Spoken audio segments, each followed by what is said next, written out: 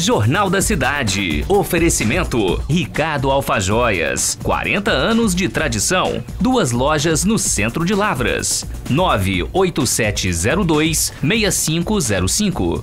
Armazém da Ração. Qualidade de vida para o seu animalzinho. Rua Chagas Dória, em frente a Semig. 3821 8382. Oi, hoje é terça-feira, 18 de agosto. Nessa edição do Jornal da Cidade, a gente mostra a doação de uma tonelada de álcool gel que o Rotary Club fez para o Hospital Vaz Monteiro aqui de Lavras. Tem ainda um caminhão que ficou entalado no túnel da Zona Norte e a previsão do tempo de quarta-feira.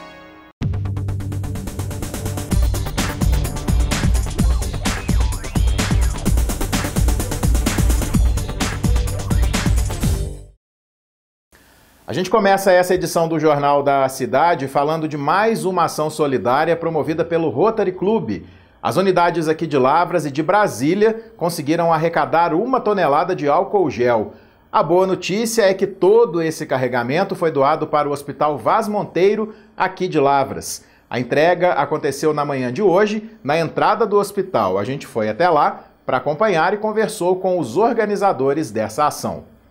Trata-se de uma iniciativa é, de roterianos de, lá de Brasília, três governadores, Chico Stilabtes, é, Gustavo Custer e também Demétrios. Eles é, conseguiram arregimentar alguns artistas. Nesse caso, nós tivemos a, a colaboração do Wesley Safadão e do Bel Marx.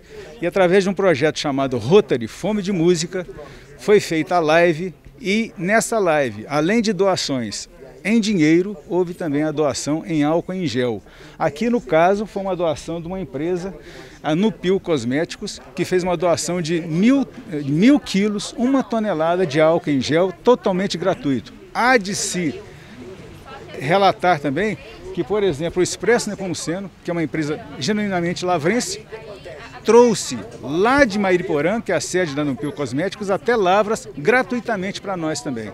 Então, são as ações de Rotary em prol da comunidade, em prol do bem comum.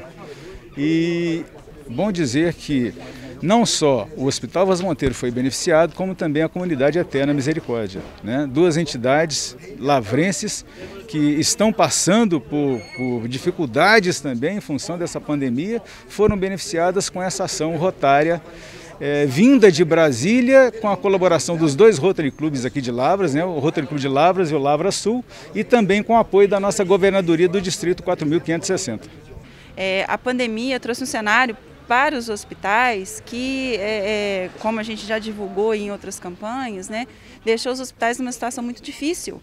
Porque além da gente perder a receita que a gente tinha, que cobria o, o, o gasto do SUS, nós ainda tivemos um aumento abusivo de todo, todos os preços, preço do álcool, das luvas, das toucas, dos aventais, de tudo. Então, quando a gente recebe uma doação, para a gente dar um respiro, sabe? É uma forma do hospital dar uma respirada, um tempinho e a gente pegar folho para seguir em frente. Luz, fala para a gente então, para vocês também vem numa boa hora, né? Vem sim, é, em primeiro lugar, né, quero agradecer né, a todos aqueles que colaboraram né, para que essa doação ela chegue até a Casa Eterna Misericórdia, né? Isso é, eu creio que para nós, né, vai ser de grande utilidade, né? Porque nós temos é, bastante pessoas idosas na nossa comunidade, né? E, e também, né, vai contribuir, né, para que venha manter, né, é, a tranquilidade, a saúde de cada um deles, né? E trazer é, benfeitoria para a nossa comunidade, né? Eterna Misericórdia. Como é que foi essa experiência de fazer essa ponte aí entre o lado dos artistas, o Rotary e o hospital aqui de Lavras? Ô Sérgio, para nós é uma gratificação muito grande a gente poder né, ter esses contatos e a gente poder ser a ponte. Né, de, de trazer mais esperança para nós e vamos trazer cada vez mais arrecadações aqui para a nossa cidade, ainda mais para esse hospital que é tão lindo e está precisando tanto. Né? Os shows se encerraram esse ano, mas as benfeitorias continuam o ano inteiro.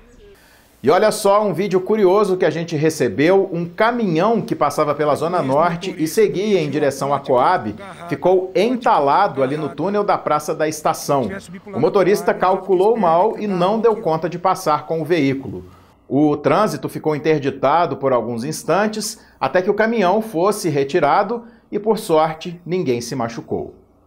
Bom, a gente segue agora trazendo a previsão do tempo de quarta-feira. O mapa já está chegando aí na sua tela e o dia em Lavras deve ser de sol com nuvens. A temperatura continua subindo e fica entre a mínima de 16 graus e a máxima de 29. Não chove, ventos em 25 km por hora e o clima continua seco, umidade do ar em 26%, que é estado de atenção, então não se esqueça de tomar bastante água. Se você tem alguma foto, vídeo ou sugestão de reportagem para mandar para a gente, entre em contato com a produção do jornal. O número do WhatsApp é o 988-06 e também pode ser pelas redes sociais do Lavras.tv. A edição de hoje está terminando e a gente volta a se encontrar amanhã. Até lá!